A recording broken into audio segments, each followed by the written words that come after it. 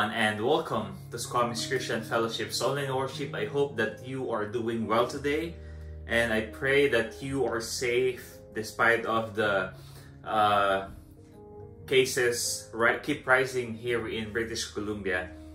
And as we continue to worship God and uh, serve Him and honor Him with your time this evening, I pray that you will be blessed by our worship. Let's pray. Heavenly Father, we thank you for uh, this wonderful day, this wonderful night that you have given us. Uh, thank you for keeping us safe. It's been a year, almost more than a year, that we are doing online worship and uh, we have this COVID, but you are faithful to us every day and you are always there providing for us, doing miracles for us. And we just want to honor you and uh, give thanks to you, O God. And as we meditate your words this evening, may you open our hearts and minds and may we see your works, see your presence in our lives. In Jesus' name, amen and amen. Jesus was, uh, he, he appeared for his uh, to his disciples for uh, two times after uh, his resurrection. And in, in John chapter 21, it, it is his third appearance to his disciples. So uh, the disciples were still uh, afraid. Uh, Jesus told them to have peace. Jesus uh, gave them the Holy Spirit. We talked about it uh, two Saturdays ago. And uh, in, in John chapter 21, the disciples will be going to fishing, right? So uh, Peter, he is a fisherman with other uh, three disciples. So in, in verse 21, it says, Afterward, Jesus appeared to his disciples by the Sea of Galilee. It happened this way. Simon Peter, Thomas, Nathanael from Cana in Galilee, the sons of uh, uh, Zebedee, and the two other disciples were together. And he said, I'm going out to fish. Peter said, and they said, We will go with you. So they went out and go got into the boat. But that night, they caught nothing. These are uh, professional uh, fishermen. They, they know what they're doing. So, but but at the end of the night, they've got nothing. Early in the morning, in verse 4, Jesus stood on the shore, but the disciples did not realize that it was Jesus because it was still dark, it was dawn, and he called out to their friends, Haven't you any fish? And they said, No. And verse 6 he said, Throw your net to the right side of the boat, and you will find some. Remember, they are almost in the shore. And they were done fishing the whole night. They, they, they know the time, they know where to catch the fish, but after all the whole after uh, the, the whole night of fishing they caught nothing. So so jesus was there. Did not they did not realize that it was jesus but still jesus told them to throw the net into the right side of the boat. And when they did look at this they were unable to hold the net because of the large number of fish. And because of that, the disciple whom Jesus loved said to Peter, It is the Lord. And when Peter realized that, that when, when Peter heard that it was Jesus, what did Peter do? He jumped out of the boat. He was naked. He, he, he get his, his uh, clothes. He jumped out of the boat. Maybe, was he afraid of Jesus? I think no, he was not afraid, but maybe he was shy of Jesus. Why? Because remember, after Jesus, before Jesus died, Peter denied him three times. And and and uh, probably Peter is so guilty. We'll talk about Peter next Saturday. We, will talk about uh, how Jesus redeemed him. But here, Jesus told them, Jesus gave them a mandate to to throw the net in their right side. Uh, in the right side of the boat. And when they did, they got they got they hold a net that is full of large number of fish. And and when when they done, the other disciples followed in the boat, towing the net of fish. They were not far from the shore, about a hundred yards. That is so near the shore. When they landed, they saw a fire of burning coals there with fish on it and some bread. And Jesus said, Bring some of the fish that you caught and let's have some breakfast. And then the, the, the, the, the Bible says it was full of large fish, 153. And uh, even they got so many fish, that net was not torn, it was not broken. And Jesus said to them, Come and have breakfast and no one asked Jesus who it was dawn, it was still dark, and no one asked Jesus who he was because they know it is the Lord, it is him. Because oh, it, it is only Jesus who can make miracles. It's, it is only Jesus make who can make empty net into full of large number of fish. Let's go back to the whole story. Let let, let's digest the story. These are professional fishermen. They know how to fish. They know what they're doing. But at the whole night of fishing, they caught nothing. And here comes Jesus. In the morning, early in the morning, here comes Jesus. When he came, he told them, he gave them a mandate to put, to throw the net in the right side of the boat.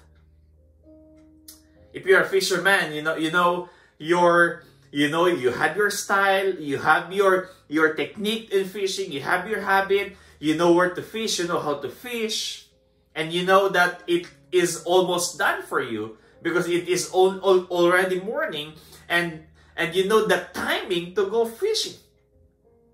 But you caught nothing.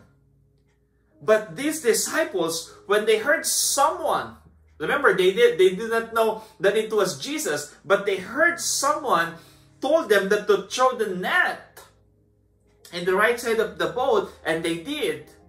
And they caught so many fish. And then they realized that it was Jesus.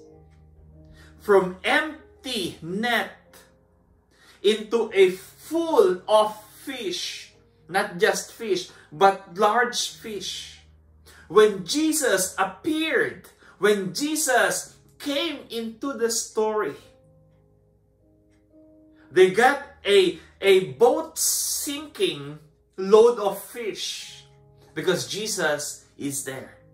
And because Jesus was the one who told them to throw the net.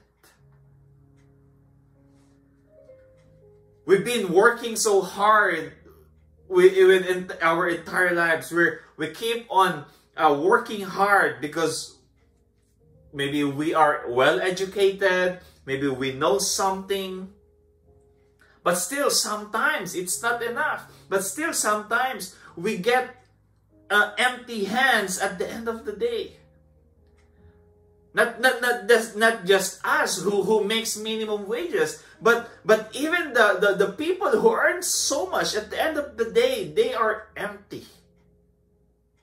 And these people, these fishermen, they were professional. They are professionals. They know how to fish. But at the end of the night, they went to the shore without any fish in their nets, in their net. But Jesus came and he showed that when Jesus is with them, that when Jesus is with them, when the presence of God, when the presence of Jesus is with them, even the empties, the empty net can become a full of large fish. Do you still believe in miracles? Do you still believe that God, that Jesus can turn our empty bottles into a full of lemonade? Do you still believe that the things that we are experiencing right now, God can turn them into blessings? Do you still believe that that your sickness right now can will result into something that you will be thankful?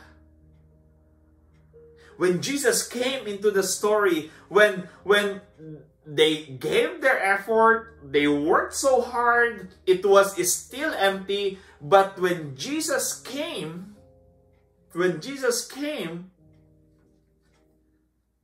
God provided.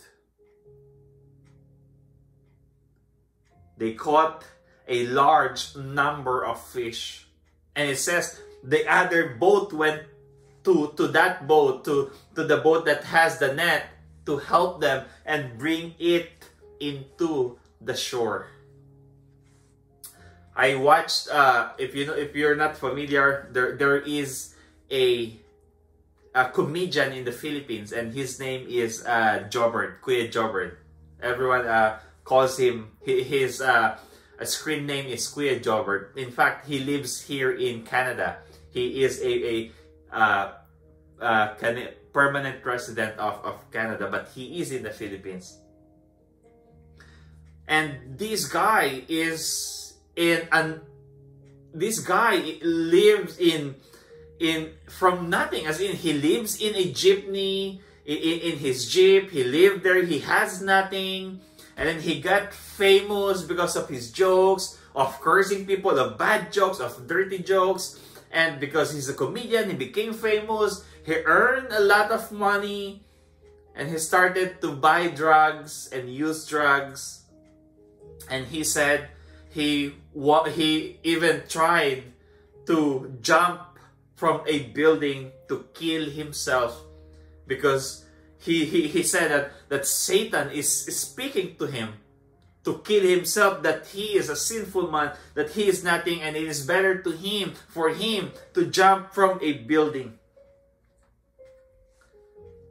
And I saw that interview with Toni Gonzaga, a, a Filipino artist, which is also a Methodist, in, in Toni Talks. And Jobert said, Kuya Jobert said, despite of the fame that he had, the money, the earnings that he had, the most important thing that happened to his life is to meet Jesus Christ as his as his Lord and Savior.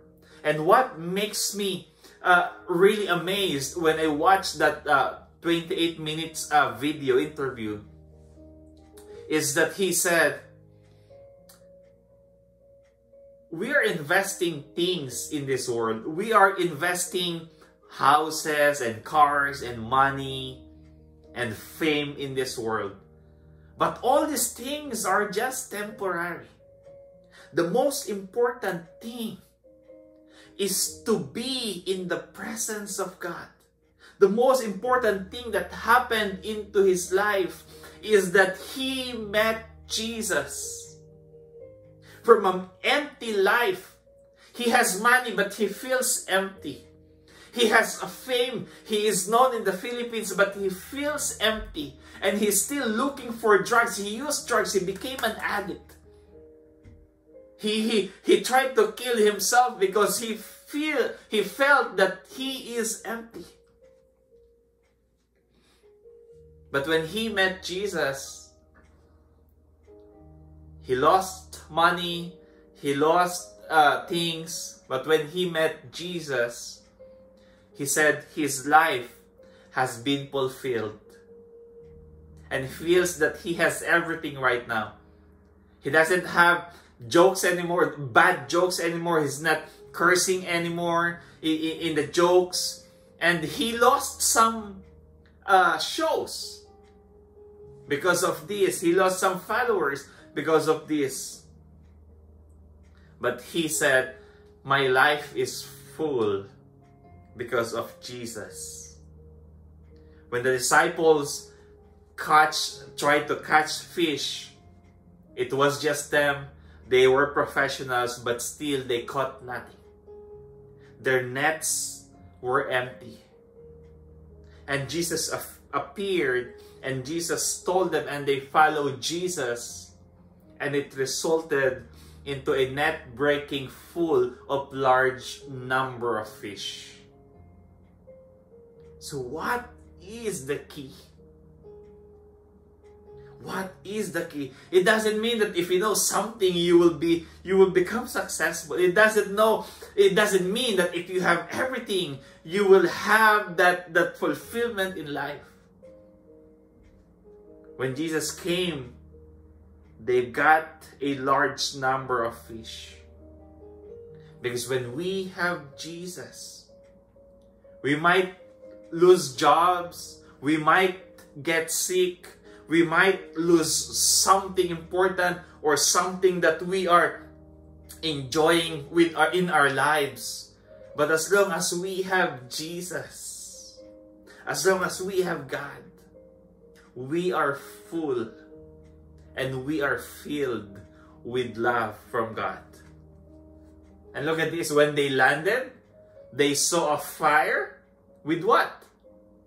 With fish and bread in the with the fire burning coals and there was a fish and there was there were uh, there were fish and bread jesus prepared breakfast for them because jesus knew that they were tired they were sleepy they were hungry that's why they went for fishing they were hungry and jesus still provided for them Remember, the disciples were hiding, right? They were afraid because of the the the, the Jewish leaders that uh, killed Jesus, though they were afraid that they will be next. So they were hiding. When they go fishing, they go in the night. When they go to somewhere, they go in the night. They caught, they, they went fishing, they caught nothing. When Jesus told them they caught large amount, when they went back to the shore, Jesus prepared a breakfast for them. And Jesus asked them, Come, let's have some breakfast. Why? Because God, Jesus, is so concerned to us. Why? Because Jesus loved his disciples so much. Jesus gave his life for his disciples. Jesus gave his life for us. And when Jesus knew that these disciples were hungry and they got nothing for the for the whole night, he provided. And when they came into the shore and they're tired and wet and cold, Jesus provided a breakfast for them. What are you going through right now? What are your struggles? Do you feel empty? Do you feel nothing? Are your dreams broken? Are your goals uh, broken? Does it seems like things will will not happen according to your plans or your dreams? Or there are things that are are coming into your way so that you could fulfill your dreams and your your your, your visions and and the things that you want Remember, even we get all the things that we want, we will still feel empty and nothing. But when Jesus will come into our lives, when Jesus will be part of our life, we will see the provision. We will see the true care that only God, that only Jesus can give to us. Brothers and sisters, as we end this evening, let us invite Jesus, let us invite God to be in our lives. You know, at the end of the day, we work so hard. We, we, we enjoy the life in this earth. But if we don't have God, we are all empty. And we have nothing. But when we have Jesus, even though we struggle, even though we have problems, God will never leave us nor forsake us. Jesus will never leave us nor forsake us. And He is always there in times of need. He is always there in times of help. When they caught nothing, Jesus came to give them to give them fish. When they were hungry uh, and, and tired of fishing, Jesus provided a breakfast for them.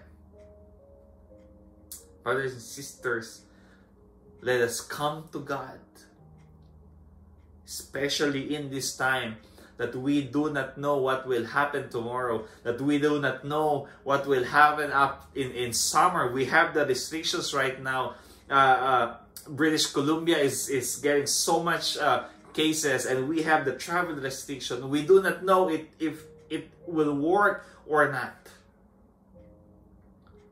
But the most important thing that we can have right now and we can be sure right now is that when we have Jesus and when we welcome Jesus into our lives, we have a house and a room in heaven.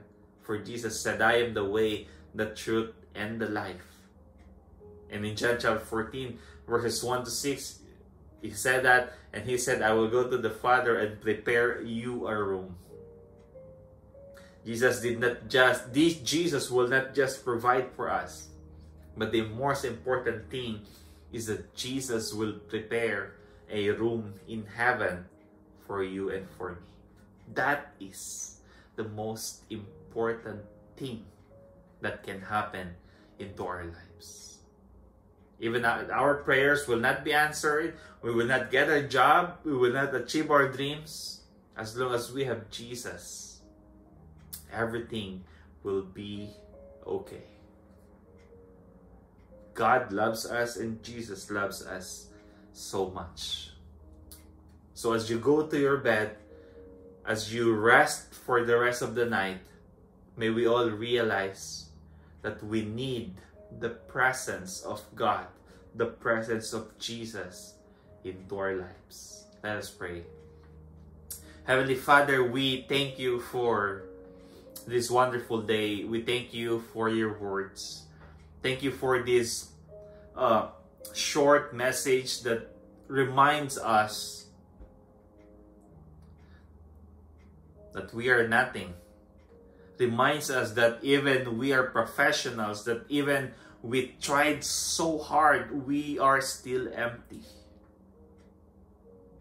And we need you. We need you, Jesus, as our Lord and Savior. We need you in our personal life. We need you in our family. We need you in our job. We need you as the number one. Not number two, not number three, not after uh, we prioritize our families, not after we prioritize our jobs and careers, but we prioritize you first and you will do and give the rest. Lord Jesus, may you come into our lives.